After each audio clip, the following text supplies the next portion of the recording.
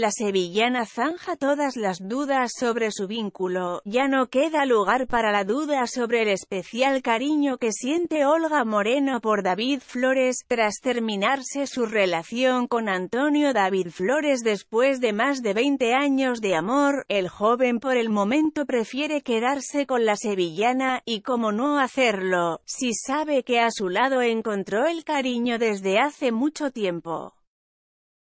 Tal como una vez lo expresó la empresaria, el joven encontró en su familia la perfecta para él porque este cariño que siente ella por el hermano de Rocío Flores se extiende a todo su núcleo. Su madre y hermanas lo han acogido como uno más y él se siente muy cómodo con ellas. Prueba de esa inquebrantable unión ha sido la especial felicitación de Olga Moreno este lunes por el cumpleaños de su progenitora.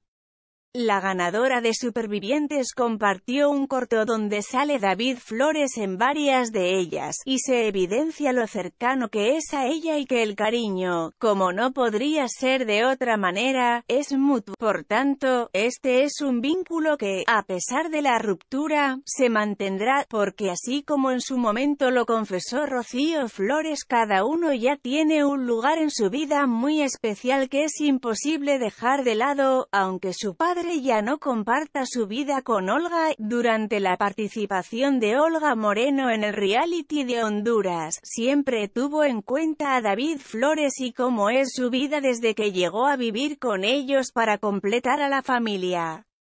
Esa cercanía y unión que muchos cuestionaban, quedó demostrada cuando se consagró con la victoria la exmujer de Antonio David. En el plató de Supervivientes, el hijo de Rocío Carrasco se reencontró muy emocionado con la española, después de más de tres meses sin verse, en aquel momento no dudó en decirle lo que sentía, inclusive llegó a decirle madre, un hecho particular que sorprendió a muchos, dado lo que había ocurrido con las revelaciones del documental de Carrasco, sea como fuere, es evidente que Olga Moreno y David Flores son un frente unido, y que cada uno estaría dispuesto a seguir en la vida del otro, sin importar lo que decida en el futuro Antonio David Flores.